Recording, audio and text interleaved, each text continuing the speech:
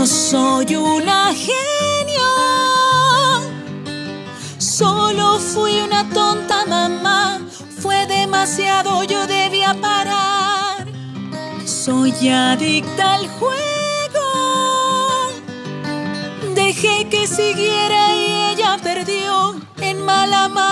me convertí. Mamá, está bien. Jugué con un maestro del ajedrez. Claro que perdí. Ah, pero lo hiciste muy bien. ¿Por qué no aceptaste el empate? Porque quería ver cómo me derrotaba. Es decir, si tomaba el empate no hubiera aprendido nada de eso, ¿entiendes? Ay, me siento orgullosa. Abrazo sangriento, madre e hija.